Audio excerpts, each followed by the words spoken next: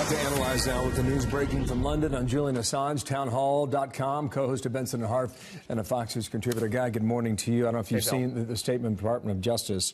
Reading through it again here, the charge relates to Assange's alleged role in one of the largest compromises of classified information in the history of the United States. Let's react on this first, based on what we're learning, Guy. Well, I think this is a positive development. Julian Assange, I don't think, is a freedom fighter.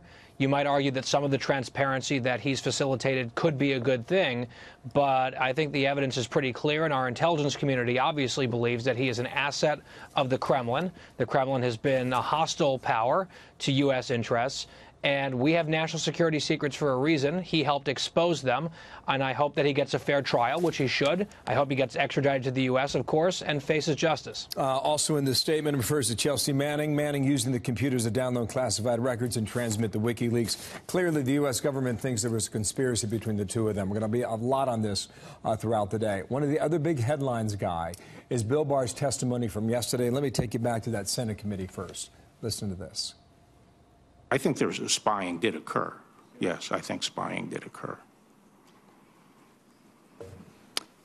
Well, let me. But the uh, question is whether it was predicated, adequately predicated. And I'm not suggesting it wasn't adequately predicated, but I'd need to explore that.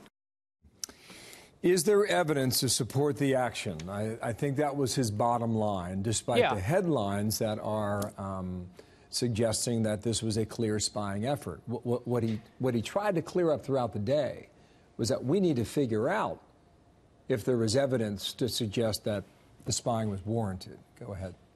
Yeah, the hyperventilation over the word spying has been sort of strange to me because there was undoubtedly spying on U.S. citizens connected to the Trump campaign during the 2016 presidential cycle. The question, as Barr correctly asks, is was that predicated on something legitimate? Did that investigation arise from something where the origins in the U.S. national security interest? We have some of those answers. We don't have all of them. And I think every American should be concerned about that. I mean, we know that there were FISA warrants issued, for example, based very heavily on a dossier that was paid for by the opposition party. Now, there may have been other factors at play here. Trey Gowdy is a guy that I trust, and he's looked at some of the intelligence. He believes the FBI and the DOJ acted uh, appropriately based on the evidence that they had. There's an inspector general reported to this. I welcome those conclusions, yeah. and I think what Barr said ought to be not terribly controversial. I, I, support exactly what he testified. That probe should be out May or June. That's what he said earlier in the week. In yep. the meantime, we're on the Mueller report watch. It could come any moment, literally. yep. Uh, Guy, thank you for that. Guy Benson in Washington, D.C. Thanks.